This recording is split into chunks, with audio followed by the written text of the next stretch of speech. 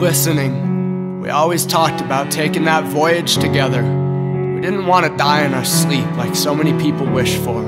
At least she didn't. She thought it sounded boring, and even though dying scared me, I wanted to be brave enough to engage in the fantasy. We decided we'd go out defending our treehouse against the separatists. It was inevitable once they'd finally discovered us kissing traitorously beneath their cootie infested boys only headquarters.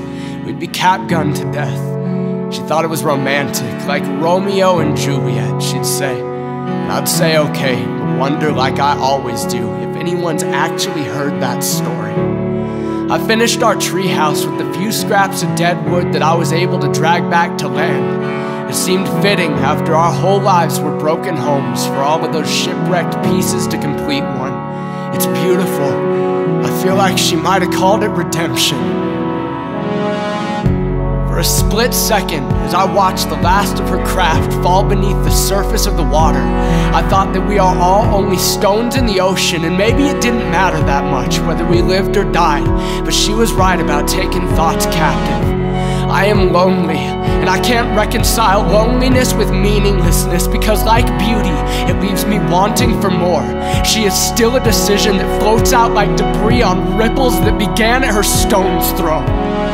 You were a mountain to me. Your earthquake leaves me trembling, and I long beyond your beauty, past your breaking and out into whoever is responsible for your new beginning. Maybe he knows the end. When you first set sail and pushed off to sea, I stood on the shore looking forward, tongue tied and stubbornly, holding tears behind my eyelids. Cause no matter how much I liked you, girl, there was still a bit of boy in me, and I wasn't about to weep with you staring back, smiling. I guess this is goodbye.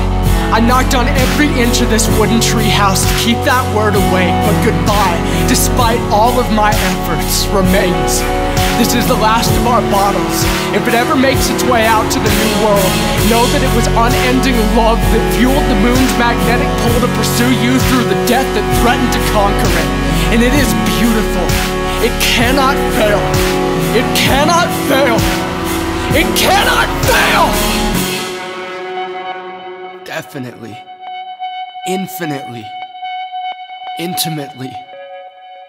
Your king.